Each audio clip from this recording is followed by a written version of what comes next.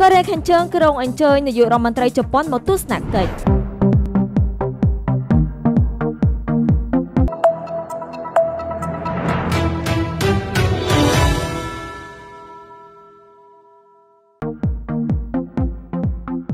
អ្នកនាងគីមយោជុងដែលត្រូវជាប្អូនស្រីរបស់លោកគីមចុងអ៊ុនមេដឹកនាំប្រទេសកូរ៉េខាងជើងគឺបានចេញនូវសេចក្តីថ្លែងការណ៍មួយតាមរយៈទីភ្នាក់ងារព័ត៌មានកណ្ដាលរបស់រដ្ឋាភិបាលកូរ៉េខាងជើងកាលពីថ្ងៃទី16ខែកុម្ភៈឆ្នាំ2024ថាកូរ៉េខាងជើងនៅបើកចំហក្នុងការពង្រឹងទំនាក់ទំនងជាមួយជប៉ុនព្រមទាំងអញ្ជើញនាយករដ្ឋមន្ត្រីជប៉ុនមកទស្សនកិច្ចនៅកូរ៉េខាងជើងផងដែរ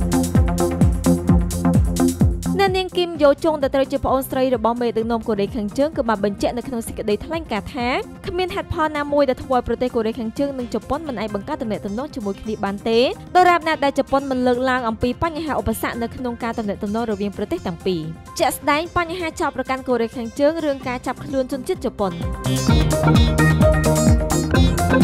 ប្អូនស្រីមេដឹកនាំកូរ៉េខាងជើងសង្ឃឹមថានៅថ្ងៃណាមួយមេដឹកនាំប្រទេសជប៉ុននឹងធ្វើដំណើរមកទស្សនកិច្ចនៅកូរ៉េខាងជើងប៉ុន្តែបច្ចុប្បន្ននេះកូរ៉េខាងជើងពុំទាន់មានគម្រោងនៅឡើយនោះទេ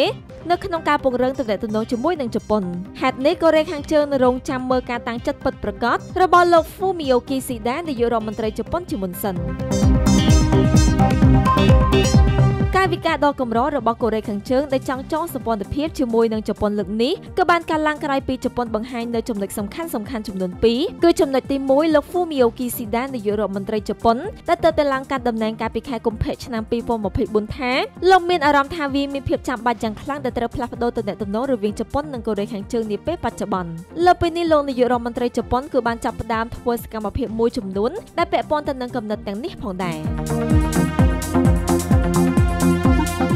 ឯចំណុចទី2សារព័ត៌មានជប៉ុនក៏បានរាយការណ៍កាលពីខែកុម្ភៈឆ្នាំ2024ថាលោក Fumio Kishida នាយករដ្ឋមន្ត្រីជប៉ុនគឺក្រុងនឹងធ្វើដំណើរទស្សនកិច្ចមកកាន់ប្រទេសកូរ៉េខាងត្បូងនៅចុងខែមីនាឆ្នាំ2024ហើយលោកនឹងចូលរួមកិច្ចប្រជុំកម្ពុជាជាមួយនឹងប្រធានាធិបតីកូរ៉េខាងត្បូងគឺលោកយុនសុកយលវាគឺជាការធ្វើដំណើរមកកាន់ប្រទេសកូរ៉េខាងត្បូងលើកទី2របស់លោក Fumio Kishida ផងដែរ